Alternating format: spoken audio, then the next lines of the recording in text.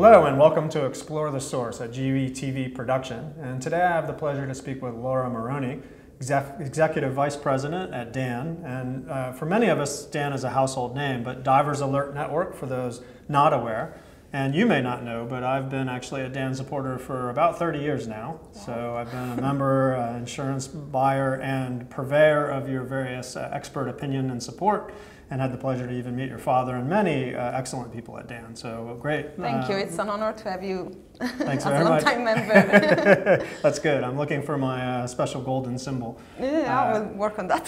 so I think many people know DAN, but I'd like to explore it a bit more for those not aware of its structure. And we have many different topics we're going to cover uh, I think we have at least a half a dozen different topics ranging from research to uh, activities in the DAN network and uh, uh, things that you're seeing that are occurring with divers. But as we start out, I want to ask a little bit about the structure of DAN. So how is it, mm-hmm. how's it organized around the world? Um, so um, we try to cover uh, uh, the globe as much as we can, the world. Uh, and so from the beginning, we, we realized that um, the best thing would be to divide the world in different areas and to have different offices to look after these various parts of the world. Um, so an IDAN, International DAN Federation, uh, exists, but it's made of uh, different organizations. Uh, we all follow the same mission uh, and goals, but we are independent uh, one from, from the other. Uh, so we have uh, uh, DAN America, uh, and we also had DAN Asia Pacific, that is now part of DAN, of DAN America. So mm-hmm. it's centralized in the headquarters in, in Durham, in North Carolina. Uh, then uh, there's DAN Europe, uh, so us, and uh, we are based, uh, historically based in, uh, in Italy. Mm-hmm. that's where we have our headquarters and, and a second office in, in Malta. And we cover um, all the geographical Europe, so all countries bordering the Mediterranean Sea, plus some other territories like Egypt and the Maldives. Mm -hmm. Uh, then there's DAN Southern Africa, uh, so they cover all the uh, sub-Saharan uh, part of Africa, uh, including Mauritius, Seychelles, uh, and these islands. and then there's DAN, DAN Japan, and they cover Japan. okay, that's good because it would be awkward if they covered something else. well, yeah, the name is pretty specific. so how many how many employees, roughly speaking, are we looking at globally? Do you have a general sense of that?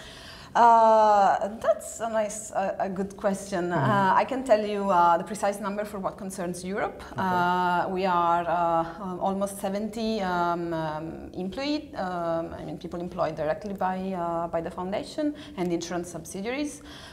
and then we have a network of about 100 doctors because we have to cover a lot of languages. So um, these doctors don't actually work in our office, but we have uh, a network uh, um, of them and they, they work from their own mm. countries. Uh, and then we also have regional representatives uh, in the various uh, European countries, again, to help us with uh, managing all the languages.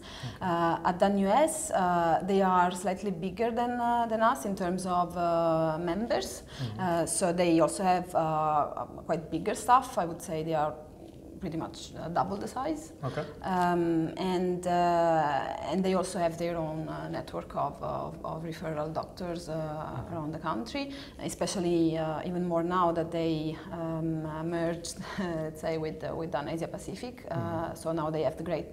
Um, challenge to, to, to, also cover a lot of uh, languages of the world, including yeah. Chinese, uh, Indian. Seems like a nightmare, to be honest, just based on my language experience. well, uh, yes, but. Uh, um, we, we, luckily enough, uh, we've been, I mean, um, all of us uh, are used to deal with emergencies pretty much everywhere in the world. So we have uh, a very good network of uh, um, preferred providers, uh, and we, I mean, we, we, are used to dealing with mm.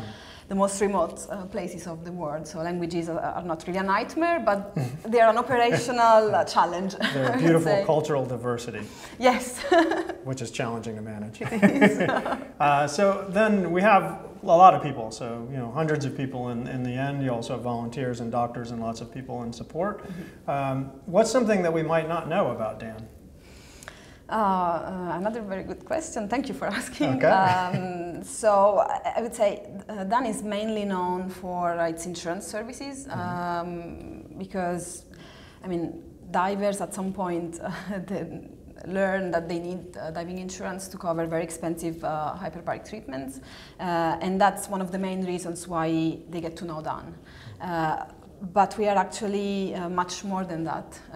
We were born as a medical and, and, research foundation, and our main um, objective, so our mission is to make diving safer, and we do that through investing a lot in research uh, activities um, and uh, so research and scientific activities. And, and, I think that this is very good for, for divers to know mm-hmm. because uh, we are behind uh, many of the rules that divers follow to, to, to, to practice this, sport in a, mm -hmm. in a safe way. And I'm talking about, for example, uh, uh, protocols about flying after diving or uh, PFO and diving, uh, uh, diabetes and diving.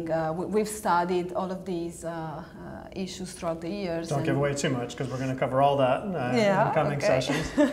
Okay, so research is the thing a lot of people are missing, which I know a lot about having exposure to that, but I think that's really an important aspect. Insurance people are aware of the research now we are aware of, and this, the call centers and the education component is quite significant mm -hmm. as mm-hmm. well. So really a, a diverse range of support. Uh, so I want to break that, and we're going to talk a little bit about the emergency support in the next session, and then we're going to flow on down into some of the really cool research that DAN has been involved with. Uh, so hope you'll stick with us. Uh, we'll be right back and see you on the other side.